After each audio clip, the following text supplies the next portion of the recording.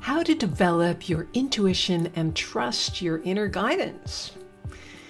This is about the harmonization process, a four step method to transform inner conflict. It's like when you're getting in your own way when it comes to fully expressing your life purpose. Today's episode is about breaking free from those kinds of blocks. Hi, I'm CM Rieger, and this is the Golden Age Timeline podcast.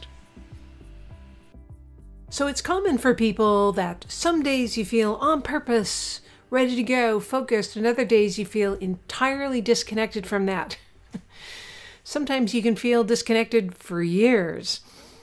In this episode, I want to introduce you to a powerful four step harmonization process I created a number of years ago that's worked for thousands of people to break them free.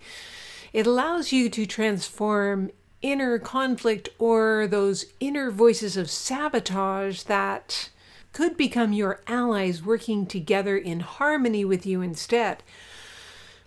So many of my clients have felt a victim to these voices without realizing that maybe all they needed to do was really listen to what was underneath the naysaying message, and in some cases, they just may need help to re educate, reframe, and restore them to a more holistic, supportive perspective.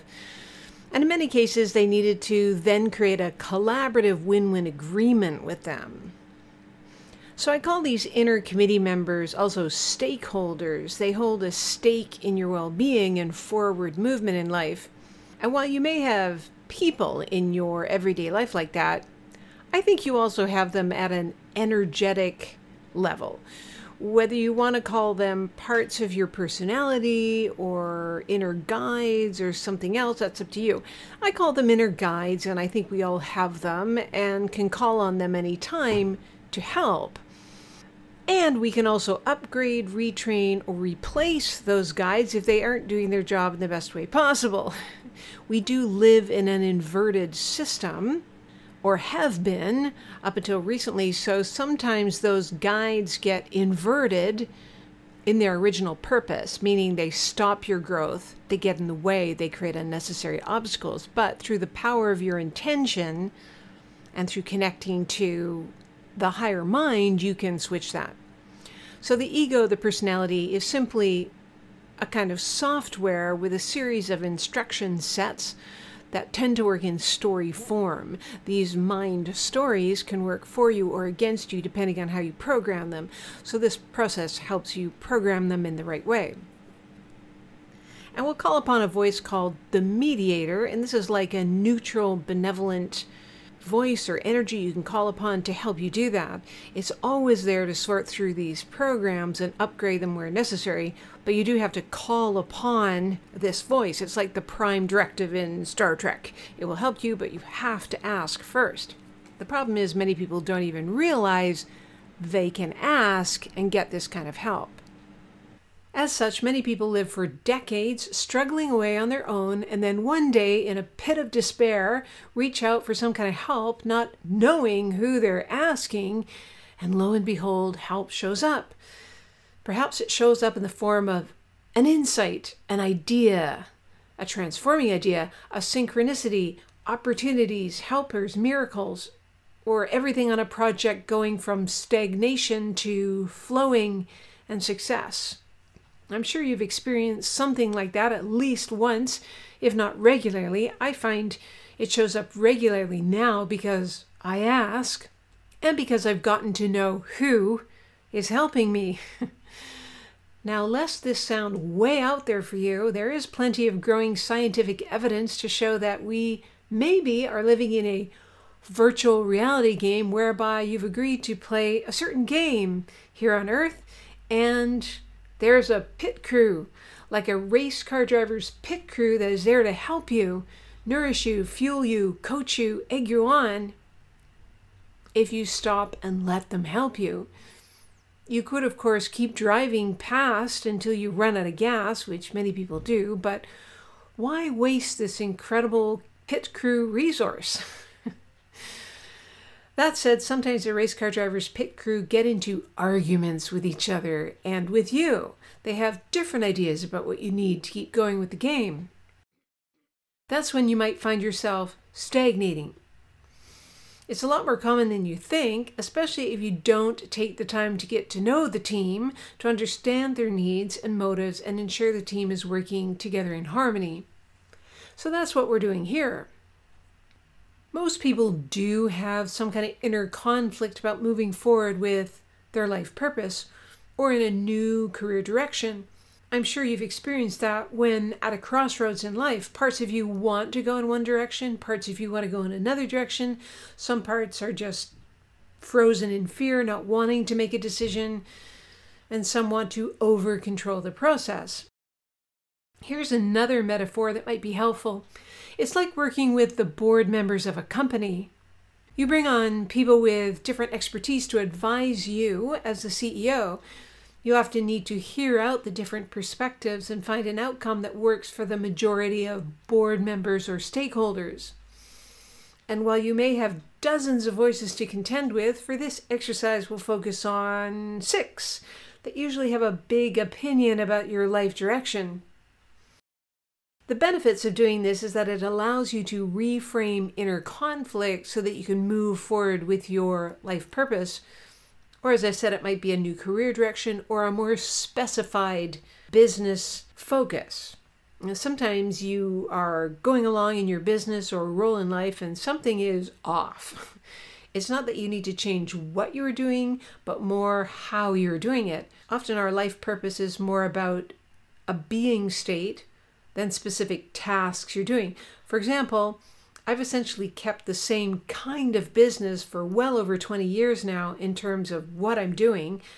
I have an expertise in the area of managing transitions, enhancing communication, upgrading mindset, helping leaders and entrepreneurs grow in their role. But I've had to change who I'm being cyclically in order to continue to fulfill my life purpose because that changes who I serve, how I serve them, how I connect with them. So you know, as the world changes, your life purpose changes. As you grow as a person, your life purpose changes. So you need to constantly be checking in and course correcting. That's why doing a process like this, the harmonization process, right now at a time in history when the world is changing so dramatically, can be very useful so that you stay relevant to the world, so that you're serving the world that is emerging now. It can literally save you from years of false starts, procrastination, going off in the wrong direction. It also creates a sense of alignment, feeling in alignment, both inside and out, which is such a relief for so many people. One of my clients who was teaching at a college and had written several books and was starting out on the speaking circuit had this to say I was so inspired after I did this harmonization process a few years ago I got clear on a new vision, but then the doubts crept in. This powerful form of inner dialogue could not have come at a better time. I got clear on what I had to take care of before I could fully move into this new direction. As soon as I did, the procrastination stopped, the opportunities flowed in, and I had far more inner harmony. I could sleep at night. Another of my clients who had a job but was building a business on the side as a coach, she had this to say Wow, what a powerful exercise. I've done some inner critic work in the past, but not at the level of sophistication that this entails. I was caught off guard by the level of emotion it released, which created a huge breakthrough. I was literally able to make a clear decision and leave my job without any regrets. So let's look at some examples of common inner committee members. There's often the visionary, security, quality control, public relations, the auditor, and then you, or what I also call the end user. Each of these voices has a positive role to play in your life, but if left unchecked or out of balance or over or underdeveloped, can block your success and happiness and forward movement. So let's look at the first one the visionary. The visionary ensures you move forward with your life purpose. It's like the founder of the organization or the CEO. It already knows what you're here to do and who you are here to serve. And in some traditions, this might be called your soul, your soul's destiny. If overdeveloped, this voice can lead you to give up all aspects of life in favor of just serving your purpose.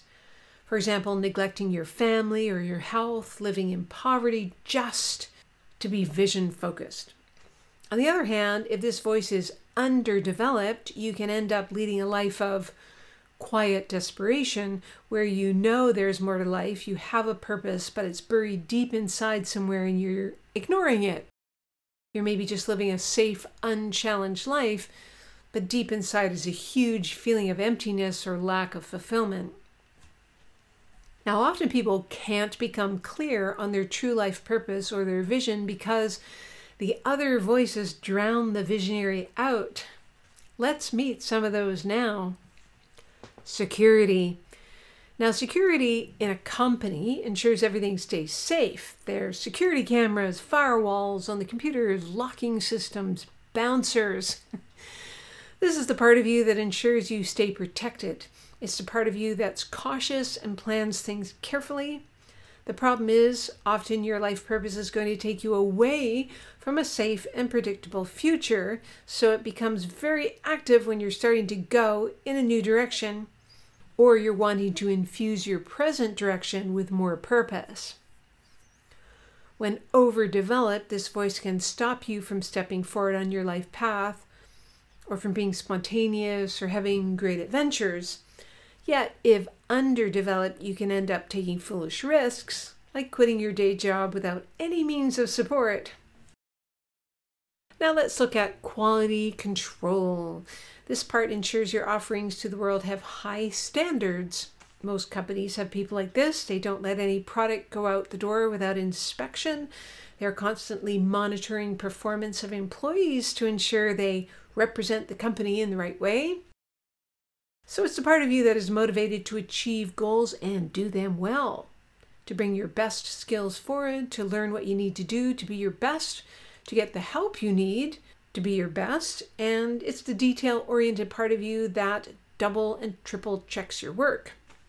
If overdeveloped, this voice can be a harsh critic towards yourself and others. It can stay stuck for years, feeling like nothing is perfect enough, you're not good enough, not experienced enough. On the other hand, if underdeveloped, you can be apathetic, not really care. For example, throwing together a proposal at the last minute without much forethought, full of typos, not really serving the purpose it was meant for. What about public relations? well, that's the part of you that makes sure you say the right thing in the right way at the right time so that you look good to others so that you build rapport, support, and connection with important people. Any good PR company wants to make sure that you have a strong, clear brand, that you don't deviate from that brand, that you maintain a good reputation in the marketplace. Now, if overdeveloped, this voice can cause you to be over concerned about image, worry too much about what other people think, and can stop you from moving forward on your path because of what your family, your peers, or society in general will think or say about what you're doing. Yet, if underdeveloped, you might act inappropriately or make a bad impression. For example, not understanding, say, the culture of your listeners during a presentation and saying something that offends people. Now, let's look at the auditor. The auditor ensures you're not cutting corners, you're acting in high integrity, and being considerate of the rules of the game and of all others involved in a project. If overdeveloped, this can become massive cynicism about new possibilities, not wanting to deviate at all from the rules to the point of staying stuck. If underdeveloped, you can break too many rules and have it all backfire on you. For example, a partner in a partnership was the one doing the books and was skimming money away from the other partner, and of course, it backfired on him completely and he lost the company and he lost his reputation. So now let's look at you or the end user. This is the part of you that is getting served by all these voices. In an organization or a company, this would be like the customer, the client. This is the raw persona that's here to learn life's lessons, and the other voices are allies on her journey there. As I've said, sometimes those allies overfunction or underfunction.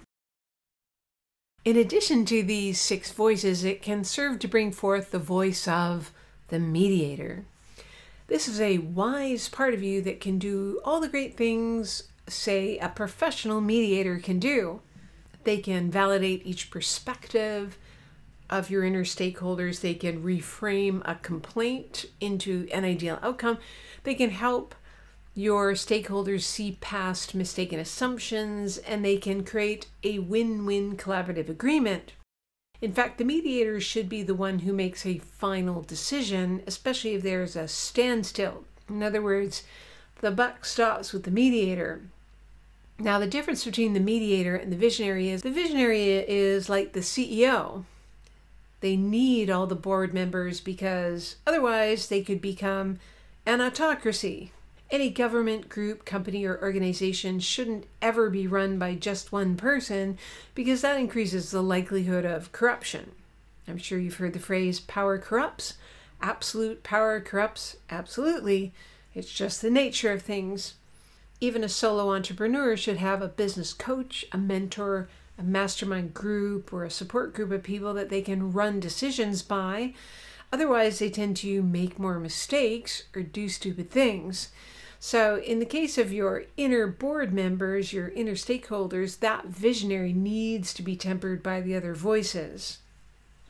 On the other hand, the mediator is outside the realm of the organization. They are like an objective third party outside consultant whose job is to remain as objective as possible, to see the big picture, to make sure everybody's needs are taken care of, their job is to help create an agreement that is acceptable to all inner voices where possible. It will include important conditions under which you, the end user, will move forward in this new direction. In other words, the mediator's job is to fulfill your visionary's purpose while also ensuring your journey is safe, high integrity, meets with the necessary approval of those you need support from, offers good value to the world, and all those good and important things. The inner mediator needs to be a highly evolved part of you, therefore, or even a universal source of benevolence. Some people might call this their higher power, higher self, universal intelligence. Use whatever understanding has the most potency for you and customize this whole process to your beliefs and your way of working with yourself. In general, it's like a trusted advisor that can tap into the deepest needs of all parts of you that's here to serve you and your life purpose. In order to come up with this sustainable agreement, you need to open up a discussion between them all so I highly suggest using what's called voice dialogue work, which is a form of active imagination. This is a process originally designed by Dr. Carl Jung, a 20th century psychoanalyst, and was used for dialoguing between the conscious of a person and their unconscious. It was further refined into what's called voice dialogue work by Hal and Sidra Stone. So you can use a journal or a notepad or a Word document or a PDF worksheet, which I will show you how to get at the end of this podcast. You'll be writing out the voice speaking and then what they say in response. It's kind of like writing a play with the character name and then their dialogue after it. You will essentially be role playing each of the voices, allowing their archetypal energy to form the words on the page. You can try to do this in your head rather than on paper, but it's much harder. The ego is programmed to distract you from doing this kind of upgrade work, like a built in self preservation system or booby trap. So don't fight with the distraction. Just gently bring your attention back to the process as many times as is necessary. That's why doing it on paper, using a process like this harmonization process that's been tried and tested many times over, makes it much easier. So you're going from part one, two, three to part four or completion. And the brain is a goal achieving machine and will override the distraction program if you give it this sequential goal. Also, putting it on paper more easily activates this neutral, compassionate, wise mediator much more easily, which can do the upgrades for you. So, part one is writing out your life purpose, or in some cases, maybe it's a new career direction or a more specific, upgraded offer to the world if you're an entrepreneur. In other words, taking what you already offer but defining it more specifically for a certain market or doing it all in a different way. Now, you're going to start by talking to the visionary. Remember, that's the part that knows your life purpose and will go to the ends of the world to make sure it happens. So just let this part speak, no editing. If something is unclear, just keep asking the visionary questions. You'll know you are talking to the real visionary part of your psyche if you have a strong, a positive physical or emotional reaction or deep sense of satisfaction when reading it back to yourself. So allow the answers to even surprise you. If you feel like it's totally expected answer or you kind of feel indifferent to what gets written on the page, it might be incorrect. So keep going until you get to that positive place of rightness. So here's an example. You write the word you, then colon, and then ask a question. Visionary, how would you best describe my life purpose at this time? Then you write the word visionary, colon, and then they answer the question. You are here to serve people who are about to retire helping them find a meaningful direction for this next phase of life, helping them learn from mistakes and let go of regrets. So that was an actual statement that came up with one of my clients from this inner visionary place. So then what we did is we went back and forth between you and the visionary. It's often good to ask the visionary more specifics. Can you give me more specifics in terms of what, where, when, who, and how to take the next best steps? So then the visionary just outlined all that. What? Helping people move into retirement having a more meaningful life path. Where? Online through coaching, speaking, and writing. When? Now, drop all other activities and focus here. Who? people with similar values, experience, and background to you. As in, who are you serving? How? Start by outlining an intro six session coaching program. So you just go back and forth until you feel like you've got the kind of clarity you want.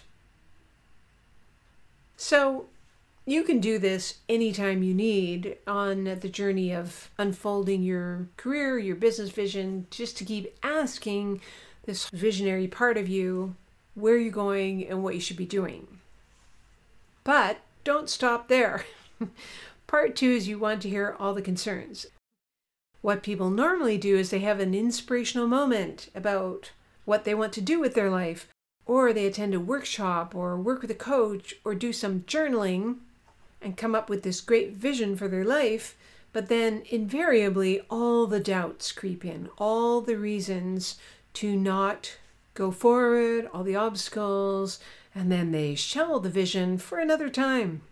They get all excited and then they feel dampened down by these inner voices. But these inner voices, they just want to make sure it's grounded, it's going to work, it's well thought through, and it's high quality. And that's why you have to do a step like this to find out what's going on that could get in your way.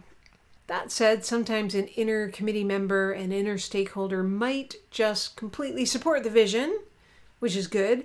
But if they're doing their job, they'll want to play devil's advocate and show you another side of the situation so you might hear supportive statements or concerns, just like at a committee meeting when you want to have your whole board discuss a big change in the company.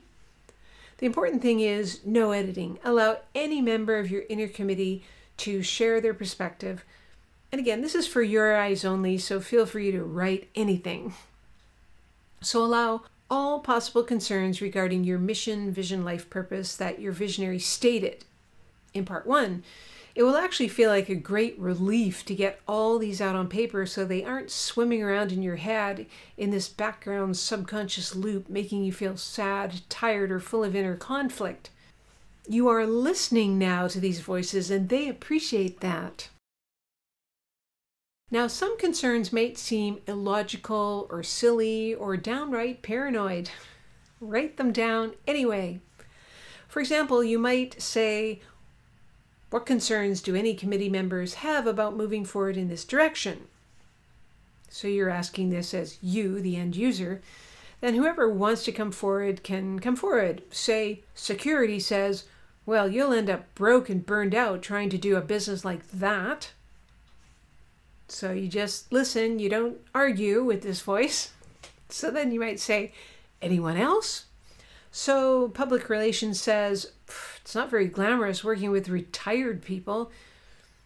Okay, anyone else? Uh, so maybe quality control says, you don't have enough money to do this. Maybe the auditor says, you don't have the proper education for this you need a degree in career counseling and you need to be registered with your association. Maybe public relations again says, oh, you'll end up having to deal with a lot of rejection to get started, and that's horrible. Auditor says, you'll get corrupted by your success. Then maybe you'll hear this other voice that says, this seems off purpose. I thought my purpose would have something more to do with music. Now, maybe you don't know who said that last one, so you just write down the name of this voice as committee member. It doesn't actually matter what name gets applied to it, it's more what the concern is. So get as many down as you can, just get them all out without arguing with them at first. Again, make sure you get down any strange things, silly, paranoid, neurotic, unlikely, unreasonable, and reasonable or whatever. Just get it all down, no editing. Good. Now, part three is bring in the mediator. These concerns can now act as signposts to help you move forward in a sustainable, grounded way. The mediator, as I mentioned, is there to do a number of things that are going to help find agreement. So, for simplicity's sake, invite the mediator to just talk to you as in the end user, rather than to all the voices individually, you, the end user, become the voice of all the concerns in response to what the mediator asks. For example, they might ask for clarification or to help that voice look at other perspectives. So, guidelines for being a good mediator are to stay curious. The mediator asks open questions versus having a defensive discussion with that part that's stating a concern, because that's what you're probably already doing. That's motivating you to do this in the first place is you're arguing inside your head. So you want to get away from that. For example, security often has concerns about money. So maybe you hear the voice talk about fear of going bankrupt. You might be tempted to fight with that voice and prove why that's just paranoid so instead, you want to ask more open questions such as What leads you to believe I might go bankrupt? And then that voice of security needs to logically think through where that comment came from and might discover that it doesn't make much sense or it's actually quite unlikely. Of course, bankruptcy could happen to anyone, but thinking it through in detail could quell that fear or at least dial it down. Now, if you ever hear a committee member say something like, that idea will never work, just a blanket, no way, Jose kind of response, you want to get underneath that. What makes you say that? Well, remember, three years ago you tried something like that before and it failed. The mediator just asks questions to get each voice to think through their concern with wise discernment. So the mediator would validate the perspective okay, you say that will never work. What would you propose instead? What would work? That forces that inner voice to move from a negative, naysaying, critical perspective to a positive perspective or forward movement kind of outcome. The naysaying voice might then have to say, um, well, I can see acting as a consultant who does career counseling for a larger organization working rather than going it alone on your own completely. Okay, great. What makes you say that? Well, then you don't have to do all this marketing. You just sell yourself to one organization, but you're still an independent entrepreneur making your own decisions. So you get into that sort of logical, discerning conversation instead of a blanket, that'll never work kind of voice coming at you, right? Another committee member might say, oh, you don't have enough credentials to do that. Again, the visionary part of you might want to respond defensively with, well, I don't need credentials, I have life experience. but instead, the mediator is another part of you that would just be curious and ask an open question like, okay, not enough credentials. What makes you say that? Well, I've been researching others who do what I want to do, and they all have a degree in career counseling. And the mediator might say, Are there some who don't have a degree in career counseling? Well, maybe. so it's not an absolute necessity. Well, I guess not. See what I mean? You're just starting to unravel these blanket statements and get down to some sort of realistic point of view. Again, you want to empathize and validate. If you understand that they all actually want to help you lead a successful life, but sometimes they just don't do it in the right way, so just find out the deeper need, the deeper concern, what's driving it, and in some cases, re educate those perspectives. Do some research, just like you would need to do if, say, you brought your new business idea to your spouse your parents or others who have a stake in the decisions you make in your life. So you do it inside you first, and then when you bring it to external people in your life, you're going to come across as more legitimate. You know what I'm saying? So if you feel relieved, reassured, and more congruent after doing this exercise, then it's a good sign.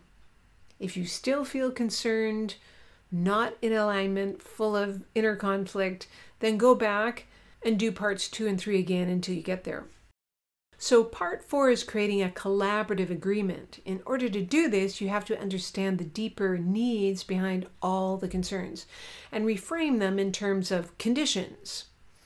So, here's an agreement example I agree to move forward in this new business direction if I can attract 50,000 in year 1, 100,000 in year 2, and 150,000 by year 3. That would be in response to security's concern about going broke. And, second condition, I hire helpers for computer work and a personal assistant to help with the details. That condition might be in response to not wanting to feel burned out by going in this direction. Other conditions might be I stay on track with my purpose even if I get very successful. I will do it with integrity. That condition I bring up because after 15 years of coaching people, one of the number one reasons people don't move forward with their life purpose is they harbor this secret fear that if they become successful, they will become corrupt. They will act in low integrity ways. They'll spend their money on stupid things. They'll lose friends. People will judge them for being successful. Others will try to steal their money from them. Competitors will try to bring them down. And those fears actually outweigh fears of not having enough money. The fears of having more money than you have now can actually be more debilitating. That's why if you create an agreement with conditions, with yourself ahead of time, your whole committee will feel more safe and more supportive about moving forward. I hope that makes sense. Another popular condition is I can stay centered and trusting even when there's pressures and deadlines. Now, many people don't want to build a business or take on more responsibility in their role because they're afraid that their stressed out way of being will just get amplified with more success. Again, I've seen this fear stop countless great visionary projects being manifested in the world, as I often use this as a coaching tool with people. It might mean you have to change your way of being. If you get stressed out by small deadlines now, how are you going to be when there's a lot of people counting on you to come through? So you have to make a deal with yourself that you will learn how to stay calm, centered, and clear in the face of greater pressure. This might mean committing to a regular practice of journaling or meditating or exercise or whatever you need to stay centered. So just make a big long list of conditions and make sure it's as specific and doable sounding as possible. And add it to an agreement and sign it and date it and put it somewhere you can see it regularly. And review it from time to time. Now, will you be able to fulfill on all these conditions right away? Maybe, maybe not, but the intention is huge and acts like a magnet for bringing those goals into reality because without the intention, your inner committee members will likely block the visionary part of you completely. If they see there's a willingness, if they see this good intention, and you ask for their help to stay on purpose with those intentions, they are happy to help. But again, you have to ask. So once you've done that, it's going to make a huge difference to them being on board with your vision. Most people don't know how to discover the underlying needs of their inner committee and so just loop in self sabotage for years to come. So give this a try. In the show notes, you'll see a link so that you can buy a downloadable fill in the blanks handout along with a video tutorial called The Harmonization Process. It's on special right now if you want to get it. Of course, you can just do this on your own in a journal, but some people find all the examples written out and the fill in the blanks process very useful and the video tutorial as a good reference. And some people really want customized help doing a process like this where they work with an experienced coach like me to lead them through it, make sense of it, and then guide them to take action until they get results. So if you're interested in applying for a free demo one-to-one coaching session on that, just look for the link in the show notes. There's a short questionnaire to fill out, and if we feel it would be a good fit, we get together on, say, Zoom and do a demo coaching session and see if we want to work together on that for a coaching series. So that's it for today. I hope it was useful. Do hit like, share, and subscribe if you want to hear about other episodes coming up. See you next time, and thank you so much for listening.